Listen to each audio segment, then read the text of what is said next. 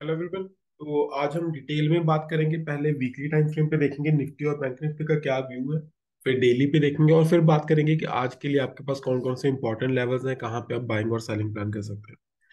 अगर मैं weekly view की बात करूँ, अगर आप इस बैंक निफ्टी के चार्ट को देखेंगे वीकली टाइम फ्रेम में तो यहाँ पे एक ट्रेंड चल रहा था अप ट्रेंड और कहीं ना कहीं मार्केट ने उस अप ट्रेंड लाइन को ब्रेक कर दिया। तो अब मेरे लिए एनालिसिस के अकॉर्डिंग प्राइस एक्शन के अकॉर्डिंग अब ट्रेंड चेंज हो चुका है। मीन्स अभी ये डाउन ट्रेंड की शुरुआत है। अगर आप देखेंगे, ये भी काफ़ी अच्छा काफ़ी इंपॉर्टेंट लेवल था, जो पहले लाइफ टाइम हो या हाई होता था, अब ये भी ऑलमोस्ट ब्रेक हो चुका है कि जोन को भी मार्केट ने ब्रेक कर दिया। तो ये सभी स्नैरियो बोल रहे हैं कि मार्केट ने कहीं ना कहीं अच्छा खासा ब्रेक डाउन दिया है और एक डाउन ट्रेंड स्टार्ट होने की संभावना है। अब बात करते हैं कि टारगेट क्या आएगा। अगर मैं इसके बाद देखूँ कि अब इस डाउन ट्रेंड के बाद कौन सा सबसे पहला टारगेट आएगा तो मेरे लिए वो टारगेट रहेगा ये वाला level look at this zone यहाँ से यहाँ से रिएक्शंस आई थी। तो अब ये एक टारगेट का काम करेगा। तो मेरे लिए जो टारगेट मैं अभी एक्सपेक्ट कर रहा हूँ that is thirty eight thousand eight hundred जो अभी के प्राइस से लगभग फिफ्टीन हंड्रेड पॉइंट्स नीचे अगर कहीं मार्केट ने इस लेवल को भी ब्रेक किया तो मोस्ट प्रोबेबली मार्केट इस लेवल तक भी आ सकती है। Which is nearly around 37,700 means around 2500 points current level से। तो अब ये तो होगी वीकली की बात। चलिए अब थोड़ा डेली टाइम फ्रेम में भी देख लेते हैं कि कैसा प्राइस एक्शन है और क्या हमें टारगेट एक्सपेक्टेड है। तो इन लेवल्स को मैं बने रहने देता हूँ। वन डे टाइम फ्रेम में चलते हैं। तो वन डे में अगर आपको याद हो तो इस ट्रेंड लाइन की बात हमने पहले भी की थी थोड़ा सा रिफाइन कर लेते हैं हम अच्छे से बना लेते हैं। तो अगर आप देखेंगे तो बहुत ही अच्छे से मार्केट ने इस ट्रेंड लाइन को ब्रेक किया एंड उसके बाद उसी को रीटेस्ट किया। लुक एट दिस एंड यहाँ पे एक जोन बन रहा था, अगर मैं आपको ड्रॉ करके भी दिखा दूँ तो ये जोन था यहाँ पे। यहाँ पे मार्केट काफ़ी दिनों से स्टक थी। सात, आठ दिन यहाँ पे रही। और जब भी एक जोन का ब्रेकआउट होता है तो that gives you a good momentum लेकिन अपसाइड का पहले ब्रेकआउट हुआ था। अब अगर अपसाइड का ब्रेकआउट तो एटलीस्ट ट्रेंड लाइन की वेट तो हमें करनी पड़नी थी। लेकिन मार्केट ने ट्रेंड लाइन से ऊपर नहीं गई और वापस डाउन ट्रेंड स्टार्ट कर दिया। अभी एक अच्छा खासा फॉल हुआ है, ठीक है? तो अभी के लिए अगर मैं बात करूँ ऊपर वाली साइड लेट्स सपोज़ अगर मार्केट ऊपर आएगी तो आइदर इस लेवल को रीटेस्ट करेगी या फिर इस लेवल को। अगर मार्केट ऊपर आई तो तो यहाँ पे हमारे पास एक सेल का ट्रेड बन सकता है। कभी भी आए, आज आ जाए, कल आ जाए, किसी और दिन आ जाए तो यहाँ पे एक सेल का ट्रेड बनेगा इस लेवल पे या फिर इस लेवल पे। यहाँ से अच्छे से रिएक्शन आएगी। बॉटम साइड पे अगर मैं बात करूँ टारगेट की तो मुझे लगता है वही टारगेट है जो हमने वीकली टाइम फ्रेम पे डिसाइड किया था। हो सकता है यहाँ तक आ जाए माइट भी लेकिन ये एक अच्छा लेवल है जो हमने टारगेट किया था thirty eight thousand seven eighty six around तो आज के लिए आपके पास कौन कौन से इंपॉर्टेंट लेवल है यहाँ से आप ट्रेडिंग प्लान कर सकते हैं? तो चलिए फिफ्टीन मिनट टाइम फ्रेम में चल के देखते हैं।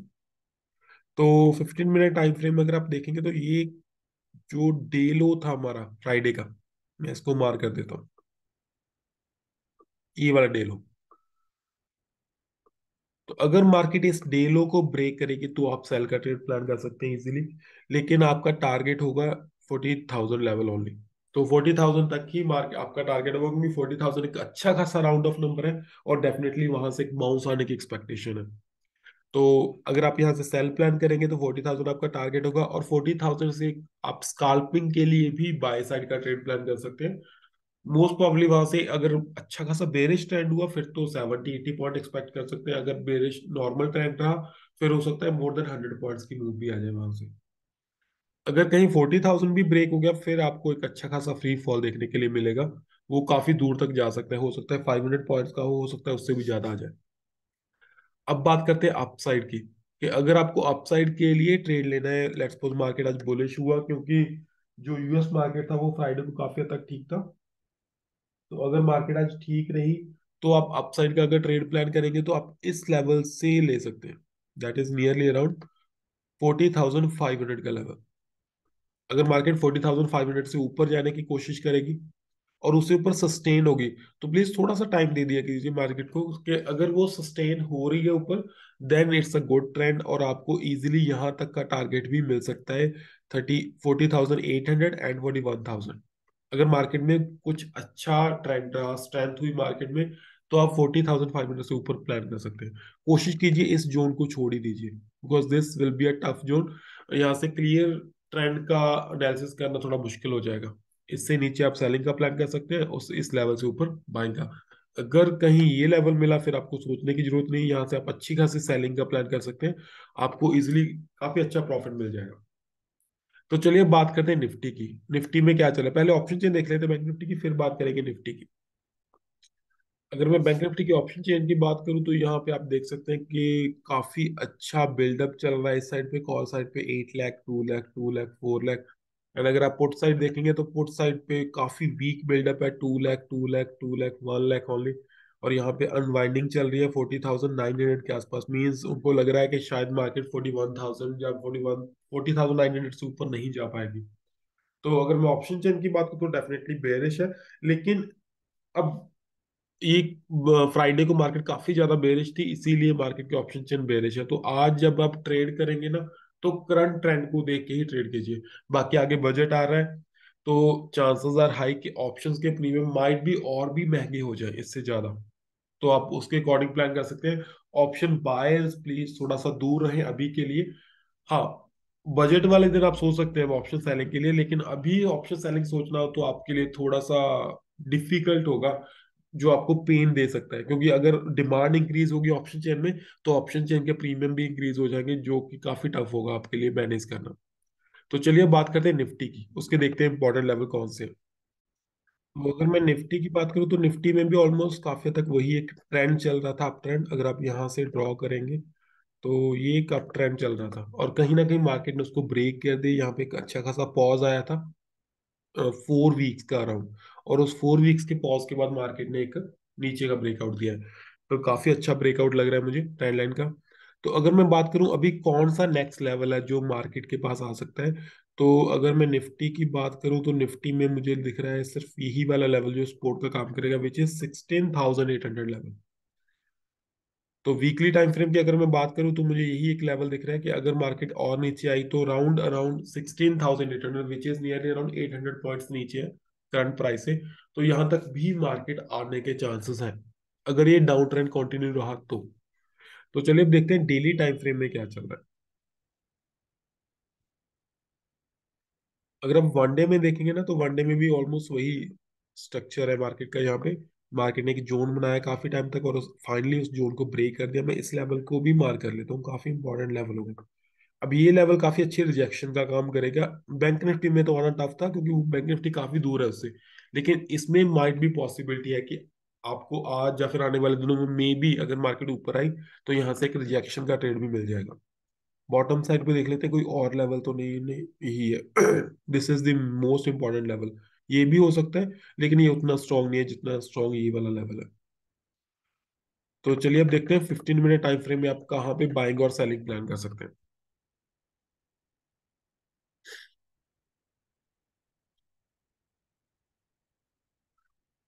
तो अगर मैं फिफ्टीन मिनट टाइम फ्रेम की बात करूँ तो अगर आपको एक अग्रेसिव ट्रेड लेना है तो अगर आप देखेंगे यहाँ पे एक ट्रेंड लाइन आ रही है, और अगर मार्केट ने इस हाई का ब्रेकआउट दिया यहाँ से तो यहाँ से आप एक बाय का ट्रेड प्लान कर सकते हैं, लेकिन ये आपका टारगेट होगा। Means around six hundred seven का लेवल है। सिक्स हंड्रेड टेन होगा अराउंड सिक्स हंड्रेड टेन या ट्वेंटी इससे ऊपर बाय करेंगे और आपका टारगेट होगा सेवन सिक्सटी टू तो मैं ये नहीं कह रहा कि आएगा ही आएगा। आपको अपने स्टॉप लॉस के अकॉर्डिंग अपना टारगेट डिसाइड कर लेना one ratio two one ratio three आपका इजीली आ जाएगा। इससे पहले पहले ही आ जाएगा। तो एक्सपेक्टेड है कि यहाँ से अगर ब्रेकआउट हुआ तो माइट भी मार्केट इस लेवल तक आ जाए which is nearly one forty points का मूव है तो which is not a bad move अगर मैं बात करूँ सेलिंग की तो एक तो आप अगर मार्केट आपको इस लेवल के आसपास दिखे, यहाँ से आप सेलिंग का ट्रेड प्लान कर सकते हैं, इस लेवल से ऊपर स्टॉप लॉस हार्डली आपका स्टॉप लॉस होगा, अगर मैं बात करूँ तो फिफ्टीन पॉइंट क्योंकि प्रीमियम्स महँगे हैं तो फिफ्टीन पॉइंट्स का स्टॉप लॉस हो सकता है आपका टेन टू फिफ्टीन पॉइंट्स का, और आपका target easily more than forty five points हो जाएगा। और अगर आपको सेल प्लान करना है तो आप इस लो से नीचे भी सेल प्लान कर सकते हैं। प्लीज़ फाइव मिनट से ऊपर सेल प्लान मत करना that will be a tough task for you तो यहाँ इस एरिया को थोड़ा अवॉइड कीजिए। अगर मार्केट ने इस लो को ब्रेक किया तो भी आप सेल प्लान कर सकते हैं, या फिर इस लेवल के आसपास सेल प्लान कर सकते हैं। यहाँ से भी एक अच्छी मूव आएगी और यहाँ से भी। छोटी मूव्स अगर आपको स्काल्पिंग करनी है that is a different part अगर आपको एक अच्छी मूव कैप्चर करनी है तो these are the important level यहाँ से, या फिर यहाँ से, या फिर यहाँ से. So these three things will give you a good money today तो चलिए बात करते हैं ऑप्शन चेन की. तो अगर मैं ऑप्शन चेन की बात करूँ तो कहीं ना कहीं निफ्टी के ऑप्शन चेन वही सेम सिनेरियो क्लियरली बेरिश है seventeen lakh nineteen lakh twenty eight lakh और इस साइड कोई खास बिल्डअप नहीं है. तो लेकिन फिर भी जब मैं आज ट्रेड करूँगा तो करंट मूवमेंट के अकॉर्डिंग देखूँगा कि क्या प्राइस एक्शन है और क्या ऑप्शन चेन कह रही है। दोनों के कोरिलेशन के साथ अगर आप ट्रेड प्लान करेंगे तो कहीं ना कहीं आपकी विनिंग प्रॉबिलिटी ज़्यादा हो जाएगी। हाँ मेरी वीडियो खत्म होगी, लेकिन आपसे एक चीज़ पूछनी थी कि क्या आपको स्टॉक एनालिसिस भी चाहिए? अगर आप कमेंट बॉक्स में हमें बता देंगे कि आपको स्टॉक एनालिसिस भी चाहिए, अच्छे खासे कमेंट्स आएँगे तो हम आने वाले कुछ दिनों में स्टॉक का एनालिसिस भी स्टार्ट कर देंगे और रेगुलरली वीडियोस अपलोड करेंगे। तो हमें कमेंट बॉक्स में बता दीजिए। Thank you so much and have a nice day